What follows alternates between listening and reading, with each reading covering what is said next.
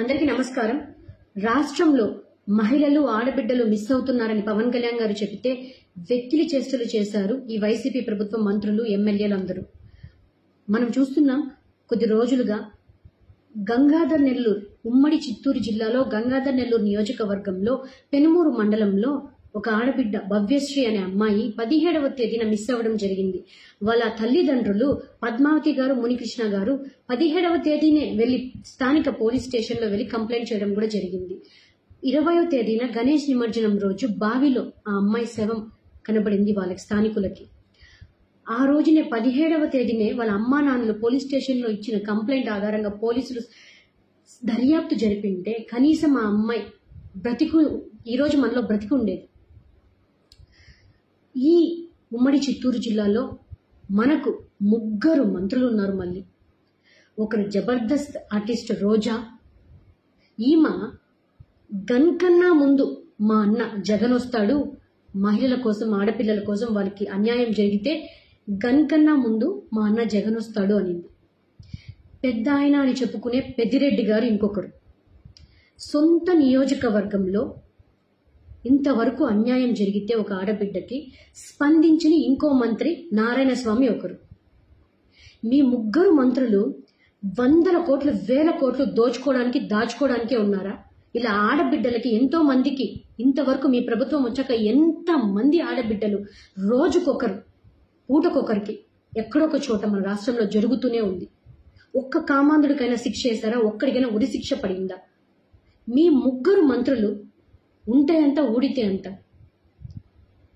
ఆ అమ్మాయికి కళ్ళు పీకేసి జుట్టు తీసేసి గుండు చేసి బావిలో పడేశారు. ఆ విషయం మీద నేను నిన్న ఒక పోస్ట్ చూశాను. చిత్తూరు డిస్టిక్ పోలీస్ ట్విట్టర్ వేదికగా ఆయన ట్వీట్ వేశారు. ఆయన ట్వీట్ పెట్టారు. ట్విట్టర్ వేదికగా. పెనుమూరు మండలంలో సంచలనం రేపిన పదహారు సంవత్సరాల అమ్మాయి మిస్సింగ్ మరియు అనుమానాస్పద మృతి కేసులో సోషల్ మీడియా వేదికగా వస్తున్న వార్తల్లో ఎటువంటి వాస్తవం లేదు. సరే. ఫోరెన్సిక్ రిపోర్ట్ ప్రకారం మృతి చెందిన అమ్మాయిపై ఎటువంటి అత్యాచారం గాని లేదా ఇతర గాయాలేమి శరీరంపై లేవు. ఎస్పీ గారు మీరు ఐపీఎస్ చదివారు. మేము మేము లాజిక్గా మాట్లాడుకుందాం. మేము ఒక మహిళగా మాట్లాడుతున్నాను అంతే. మీరు ఐపీఎస్ చదివిన వాళ్ళు. లాజిక్ మాట్లాడితే గుండు చేయడానికి జుట్టు తీయడానికి ట్రిమ్మర్ వాడితే సరిపోతుంది బ్లేడ్ వాడితే సరిపోతుందండి. దానికి గాయాలు అవ్వవు. దానికి గాయాలు అవ్వవండి. ఏం మాట్లాడుతున్నారు మీరు? ఒక అనుమానాస్పదం అనుమానాస్పదంలో ఒక అమ్మాయి బావిలో పడింది. ఆ వయసులో ఆ అమ్మాయి ఏమైనా సూసైడ్ చేసుకుంటుందా? ఆ అమ్మాయికి ఏం బాధలు ఉన్నాయండి సూసైడ్ చేసుకోవడానికి? కళ్ళు తీసేసి జుట్టు తీసేసి ఉందని అన్ని రిపోర్ట్స్ ప్రకారం చూస్తున్నాం అన్ని మీడియా ఛానల్స్లో చూస్తున్నాం. ఈరోజు ఈనాడు పేపర్లో వచ్చి చాలా మంది సోషల్ మీడియా వేదికగా స్పందిస్తున్నారు. మీరు అధికారికంగా ఒక అధికార అయ్యుండి ఒక ట్విట్టర్ వేదికగా మీరు ఈ పోస్ట్ పెట్టడం చాలా బాధాకరం అండి చాలా బాధాకరం. అసలు ఏం మాట్లాడుతున్నారు మీరు? ఏం మాట్లాడుతున్నారు? ఏం ప్రూవ్ చేయాలనుకుంటున్నారు మీరు? ఎవరిని దాచిపెట్టాలనుకుంటున్నారు మీరు? ఏంటి మాటలు? ఏ రోజు ప్రెస్ మీట్ పెడుతుంది ఒక ఆమె, రోజా అనే ఆమె పవన్ కళ్యాణ్ గారిని తిట్టాలంటే ముందు ఉంటుంది. అమ్మ రోజా జబర్దస్త్ ఆర్టిస్ట్ నీకు మళ్ళీ మళ్ళీ చెప్తున్నాం. గుర్తుపెట్టుకో. కొద్ది రోజులు పవన్ కళ్యాణ్ గారి గురించి మాట్లాడడం పక్కన పెట్టి మన రాష్ట్ర మహిళలకి జరుగుతున్న ఆడబిడ్డలకి జరుగుతున్న అన్యాయంపై ఉమ్మడి చిత్తూరు జిల్లాలో జరిగిన భవ్యశ్రీకి జరిగిన మన చిత్తూరు జిల్లాలో జరిగిన ఈ సంఘటనకి జరిగిపోయింది. పదిహేడవ తేదీ జరిగితే ఇరవై తేదీ ఆ అమ్మాయి శవం బయటకు వస్తే ఇప్పటి వరకు కూడా స్థానికంగా నువ్వు పక్క కాన్స్టిట్యున్సీలో నీ నగిరి పక్క కాన్స్టిట్యున్సీలో జరిగింది ఇంతవరకు నువ్వు స్పందించలేదు. పట్టుకున్న వాళ్ళకి కఠిన శిక్ష వేస్తాం వాళ్ళకి ఉరి శిక్ష పడేలాగా నేను చూస్తాను. నేను నువ్వు ఇంతవరకు వాళ్ళకి భరోసా ఇవ్వలేదు. నువ్వే మంత్రివి. నువ్వు ఇప్పటికైనా పవన్ కళ్యాణ్ గారి గురించి వాగడం పక్కన పెట్టి వాళ్ళకి న్యాయం జరిగేలాగా చేస్తావని స్పందిస్తావని కనీసం హెచ్చరిస్తున్నా. ఇక్కడైనా నీ పనికి మాలిన మాటలు పక్కన పెట్టు. ఇంకో పెద్ద ఆయన మాట్లాడతారు. పెద్ద ఆయన అని చెప్పుకునే పెద్దిరెడ్డి గారు మాట్లాడతారు. పవన్ కళ్యాణ్ గారి గురించి నేను మాట్లాడదలుచుకోలేదు. ఆయనకి పెద్దగా రాజకీయం తెలుదు అని మాట్లాడతారు. మీకు బాగా రాజకీయం తెలుసు మీరు రాజకీయంలో పండిపోయిన వాళ్ళు కదా పెద్ద ఆయన పెద్దిరెడ్డి గారు.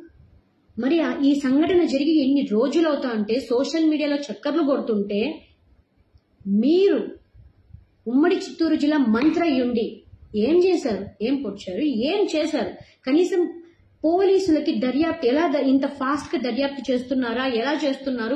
వాళ్ళ ఫ్యామిలీకి ఏమైనా భరోసా ఇచ్చేస్తున్నారా? అని మీరు మీరు కనీసం ప్రెస్ మీట్ పెట్టారా? మీరు మాట్లాడారా వాళ్ళ ఫ్యామిలీతో? ఏం చేస్తున్నారు మీరు అసలు నేను పోలీస్ అధికారులకు కూడా ఒకటే చెప్తున్నా. అధికార పక్షంపై ప్రతిపక్షాలు గొంతెత్తితే ధర్నాలు నిరసనలు చేస్తే హౌస్ అరెస్టులు చేస్తారు ప్రివెంటివ్ అరెస్టులు చేస్తారు.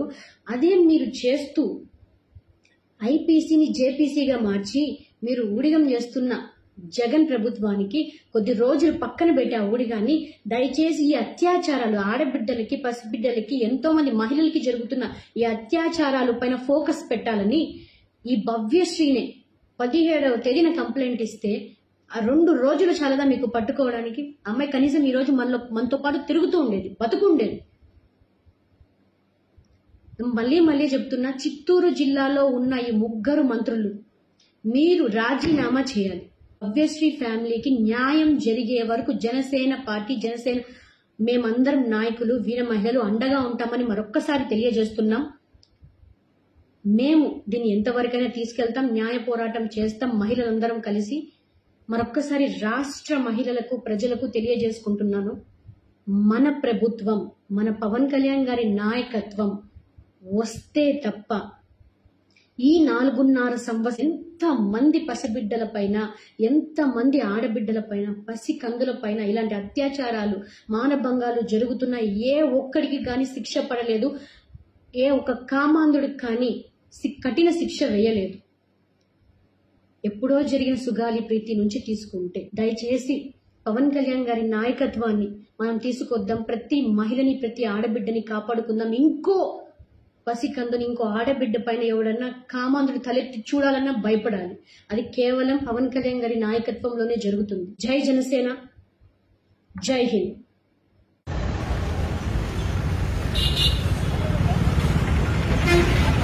అక్కడ జరిపిన బస్సు వెళ్ళిపోయాం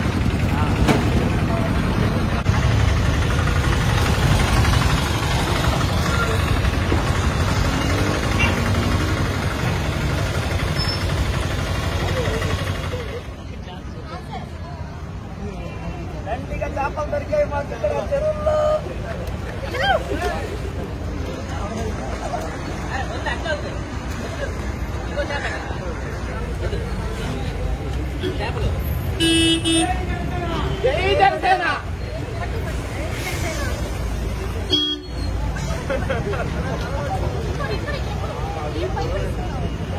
మొక్క మొక్క పెట్టు మొక్క చేపలు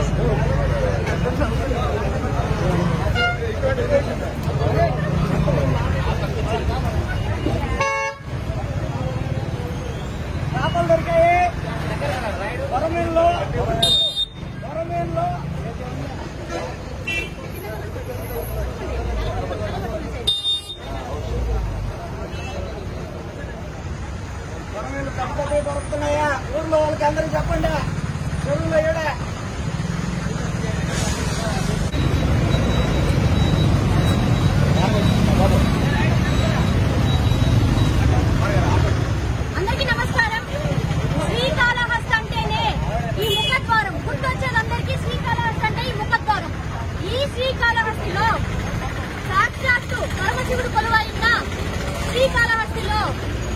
చూడాలని ఎక్కడి నుంచో దేశవ్యాప్తంగా వచ్చే భక్తులకు దేవుణ్ణి చూడాలా లేకపోతే రోడ్డుని చూడాలా గుంటల్ని చూడాలా లేకపోతే ఆ ఫ్లెక్సీల్ని చూడాలా ఏం చూడాలని దేవుని దర్శనం చేసుకునే వచ్చే భక్తులు గాని ప్రజలు గాని ఏమి చూడాలని ఈ వైఎస్ఆర్సీపీ ప్రభుత్వాన్ని మధుసూదన్ రెడ్డి గారిని అడుగుతున్నాను నేను దాదాపు కొన్ని నెలలుగా ఇలానే ఉంది ఈ రోడ్డు పరిస్థితి మెయిన్ ఎంట్రన్స్ మెయిన్ ఎంట్రన్స్ ఎవ్వరూ పట్టించుకునే పరిస్థితి లేదు మేము ఒకటే చెప్తున్నాం స్థానిక ఎమ్మెల్యే గారికి బియ్యపు మధుసూదన్ రెడ్డికి మీరు చేయకపోతే దీని తక్షణమే మూడు రోజుల్లో చేయకపోతే రోడ్డు ఎంతుందండి ఇది ఎంతుంది దీన్ని చేయలేని వాళ్ళు దీన్ని చేయలేని వాళ్ళు ప్రభుత్వం why not one seventy five అంటారు?